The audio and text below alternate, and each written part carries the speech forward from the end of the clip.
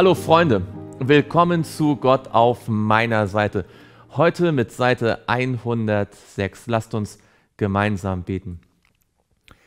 Lieber Vater im Himmel, danke, dass du dich für jedes kleine Detail in unserem Leben interessierst. Und danke, dass du auch heute durch dein Wort, durch deinen Heiligen Geist zu uns sprechen möchtest. Das bitten wir im Namen Jesu. Amen. Wir sind gerade in 2. Mose 36. Es geht um den Aufbau der Stiftshütte. In Vers 34 heißt es, und er überzog die Bretter mit Gold.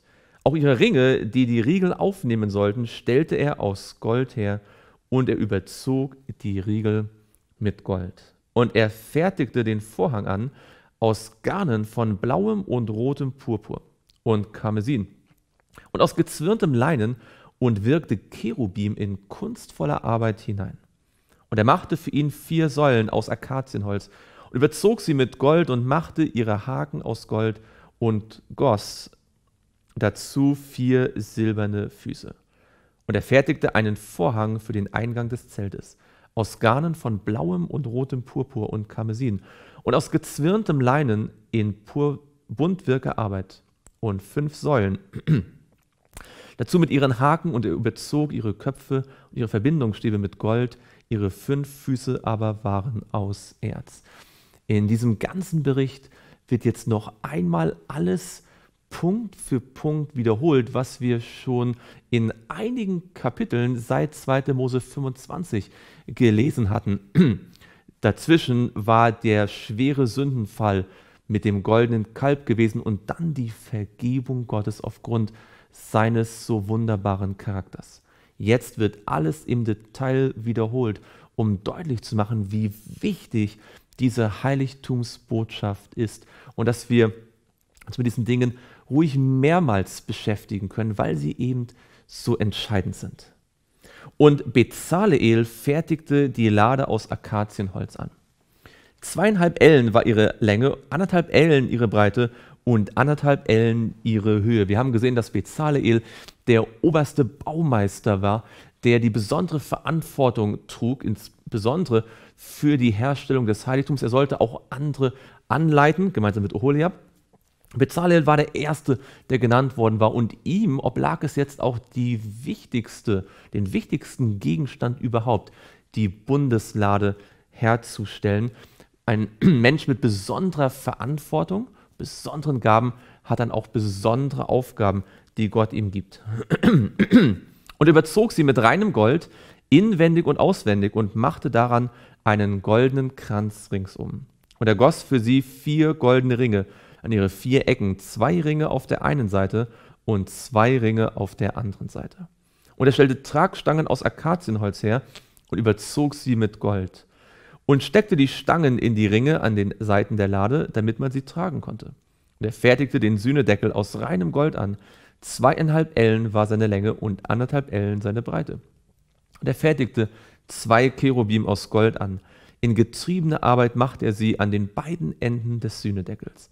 Einen Cherub an dem einen Ende und den anderen Cherub an dem anderen Ende. Aus einem Stück mit dem Sühnedeckel machte er die Cherubim an den beiden Enden. Und wir haben damals schon gesehen, dass die schirmenden Cherubim aus demselben Material gemacht worden sind wie der Sühnedeckel selbst. Das heißt, die Engel im Himmel sind eigentlich aufs allerengste mit dem Charakter Gottes, der sich am Sühnedeckel ja zeigt, mit seiner unendlichen Liebe vertraut. Und deswegen ist es so unerklärlich und so unentschuldbar, dass Luzifer, der ganz besonders nah am Thron Gottes gewesen ist, der das Wesen, den Charakter Gottes, wie sich hier auch in 2. Mose wieder gezeigt hat, kannte, trotzdem ihm nicht vertraut hat.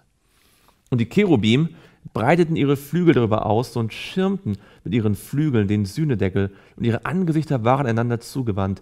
Die Angesichter der Cherubim sahen auf den Sühnedeckel. Ist dir der Charakter Gottes auch wichtig?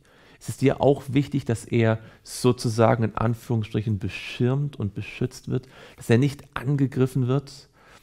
Und ist dir der Charakter Gottes so wichtig, dass du immer wieder darauf schaust, deine Augen auf ihn gerichtet hast? Und er stellte den Tisch aus Akazienholz her. Zwei Ellen war seine Länge und eine Elle seine Breite und anderthalb Ellen seine Höhe. Und er überzog ihn mit reinem Gold und versah ihn ringsum mit einem goldenen Kranz. Und er brachte an ihm ringsum eine Leiste an, eine Handbreit hoch, und befestigte an seiner Leiste ringsum wieder einen goldenen Kranz. Und er goss für ihn vier goldene Ringe und brachte sie an den vier Ecken seiner vier Füße an.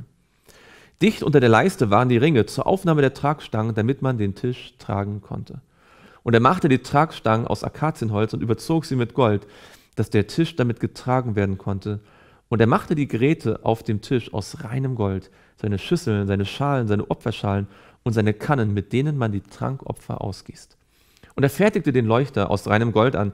In getriebener Arbeit machte er den Leuchter, seine, seinen Fuß und seinen Schaft. Seine Kelche, seinen, seine Knäufe und Blüten waren aus einem Stück mit ihm. Und sechs Arme kamen aus eine, seinem, seinem Seiten heraus, drei Arme aus einer Seite des Leuchters und drei Arme aus der anderen Seite des Leuchters. An dem einen Arm waren drei Kelche wie Mandelblüten, dazu je ein Knauf und eine Blüte und an, den anderen, an dem anderen Arm waren drei Kelche wie Mandelblüten, dazu je ein Knauf und eine Blüte. Auf diese Weise gingen die sechs Arme aus dem Leuchter hervor.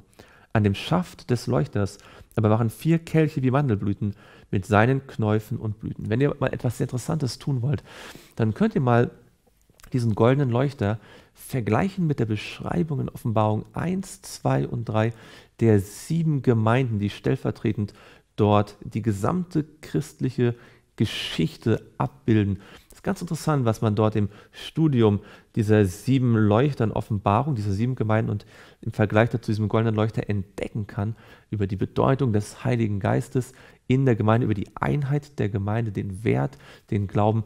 Das ist etwas, was ihr vielleicht mal äh, euch anschauen könntet. Lasst uns jetzt noch gemeinsam beten.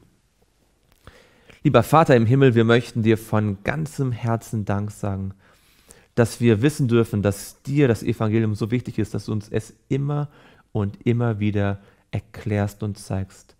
Danke, dass wir auch aus der Wiederholung wichtiger biblischer Ideen leben dürfen und dass wir wissen dürfen, dass durch deine Vergebung auch Wahrheiten immer wieder für uns zur Verfügung stehen.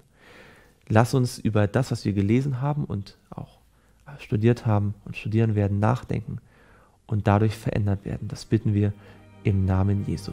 Amen.